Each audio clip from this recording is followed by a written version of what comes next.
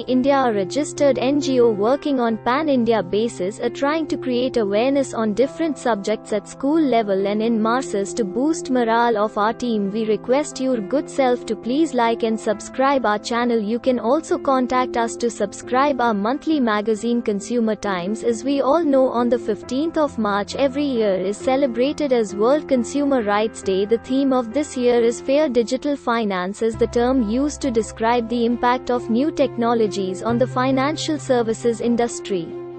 It includes a variety of products, applications, processes and business models that have transformed the traditional way of providing banking and financial services. Digital finance same as fintech it drives the financial industry to be smarter and more agile, allowing it to make processes faster than ever. Digital banking is a move from traditional banking activities to a digital one where consumers can avail the banking services online through their mobile phones or laptop. Digital Financial Services DFS comprises a broad range of financial services accessed and delivered through digital channels, including payments, credit, savings, remittances and insurance. It also includes mobile financial services. Digital finance has some benefits. For instance, digital finance can lead to greater financial inclusion, expansion of financial services to non-financial sectors, and the expansion of basic services to individuals since nearly 50% of people in the developing world already own a mobile phone digital financial services DFS comprises a broad range of financial services accessed and delivered through digital channels, including payments, credit, savings, remittances and insurance. It also includes mobile financial services. Digital finance is a financial service delivered through mobile phones, personal computers, the internet, or cards linked to a reliable digital payment system. Digital finance has the potential to provide affordable, convenient and secure banking service.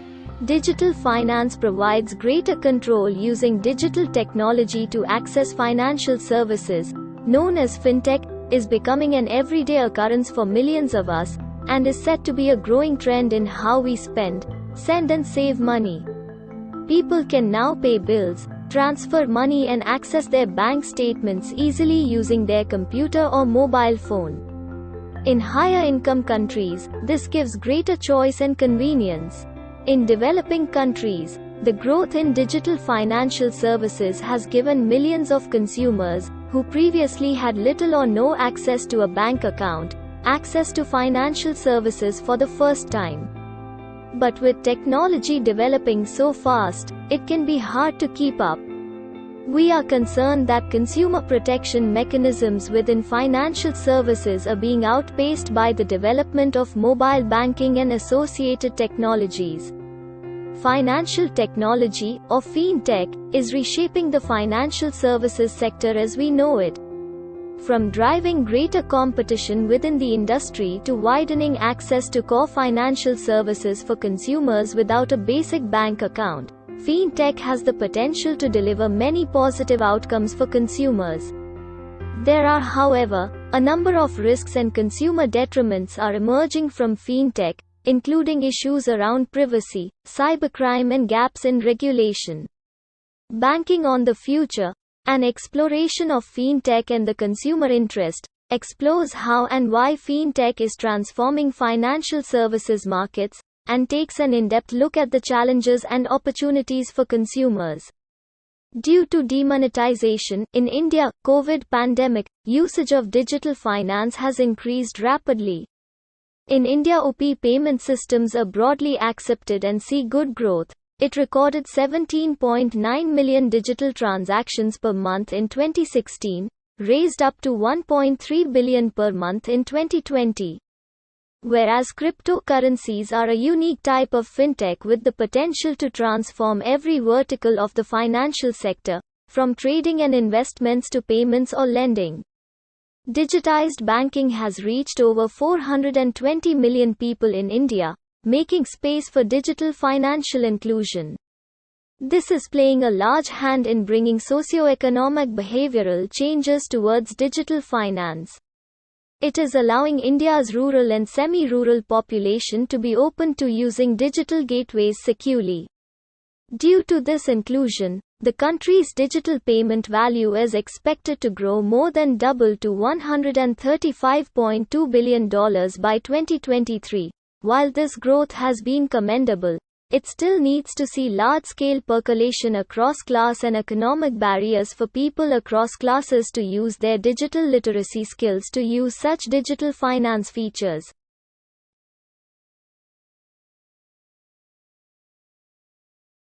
Technology is acting as a chronicler in India's digital inclusion revolution by offering easy-to-use mobile applications, multiple regional language modes, speed, and offering safe and secure transactions to the masses. It is aiding digital financial inclusion across the country with the use of digital payment gateways like RuPay, BHIM, and other mobile payment solutions. A fine example of how digital inclusion through digital literacy is enriching the Indian economy across classes is the adoption of digital payment by over 15 million pop and mom stores or grocery stores across India. The digital transformation of India has rubbed off on the NBFC sector too. The digital literacy skills of the population are enabling NBFCs to leverage technology for process automation to enhance customer connect. New generation NBFCs are leveraging partnership networks across the value chain of lead generation, client onboarding, underwriting, credit, loan disbursement, and collection more than ever before. Lenders may now assess individual consumer insights and create alternative credit rating models using artificial intelligence, machine learning and big data. While India to a great extent has covered digital literacy grounds, digital financial inclusion remains the need of the hour for the country. Cumulative participation of the whole country in digital finance will pave the way for economic growth in tandem with global numbers. As a young nation, digital financial inclusion is the key to ensuring egalitarian percolation of digitalization's benefits. It is the most effective step towards inclusive development. Eventually, financial inclusiveness will give the freedom to dream and live on one's own terms. It will provide wind to the hopes of millions of Indians across the country. At local, national and global levels, fair digital finance is very important for economic growth and civil society. Presenting her fourth union budget on February 1, 2022 Finance Minister Nirmala Sitharaman noted the role of our country's resilience in the recovery of the economy. Growth this year is expected to be the highest amongst major economies at a reassuring 9.2%.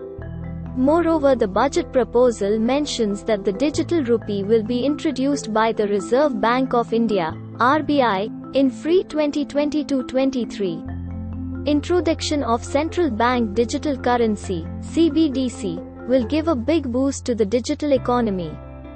Digital currency will also lead to a more efficient and cheaper currency management system. Our Prime Minister Honorable Shri Narendra Modi ji also appreciated it and said that this is necessary for economic growth of the country. Now we all should do advocacy for fair digital finance and help our country to grow faster dignity. India also manages a women's skill development center and senior citizen home in Abohar. Fazal Ka district Punjab you can also be part of this noble and also donate for it donations attract benefit under section 80G of Income Tax Act Thanks a lot of watching the video please feel free to give suggestion, send motivational videos for the of benefit society, raise your voice by making and sending plays, stories etc let us create awareness together. Please feel free to call us if you require any help. You can also be a part of our team or channel as a member or associate. Please call us our contact phone no at 981800399990 or on another phone no at 9540003999 or email at info.consumertimes at gmail.com. Visit our website www.consumertimes.in. Please like this video. Please like Share and subscribe our channel will motivate our team to work hard. Thank you.